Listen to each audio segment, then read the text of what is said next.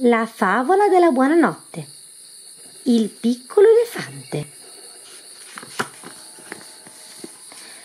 C'era una volta un piccolo elefante che si era perduto nella foresta.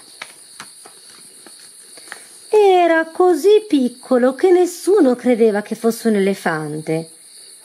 Allora chi sono? domandava l'elefantino. Chi sei? gli dice una scimmia ridendo. Gli elefanti sono grandi e grossi, mentre tu sei piccolissimo. Il piccolo elefante corre di qua e di là nella foresta per scoprire chi è. Si mette una maglietta gialla a pallini scuri e va dalla giraffa. Ehi, sono una giraffa? Chiede. No, di certo, risponde la giraffa. Non lo vedi? Le giraffe hanno il collo lungo. Allora mette il ciripà e si tuffa nel fiume per sentire il parere dell'ippopotamo. Secondo te sono un ippopotamo? Direi di no, gli risponde l'ippopotamo. Ora, non vedi che bocca grande abbiamo noi ippopotami?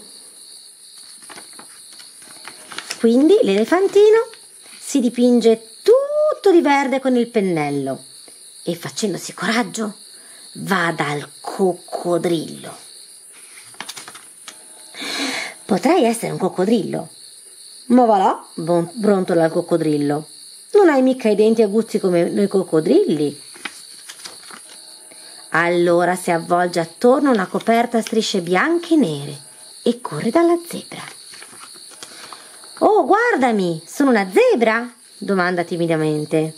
Nemmeno per sogno, gli risponde la zebra.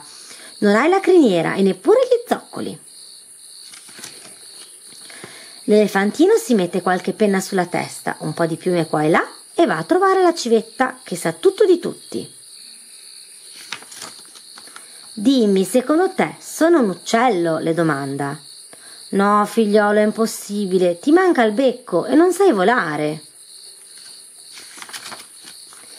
Nessuno sa chi sono, pensa sconsolato il piccolo elefante.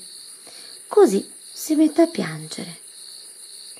Quando, ad un tratto, per caso passa di lì il signor Dindirindini.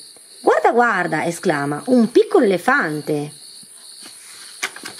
Davvero, sono un elefante.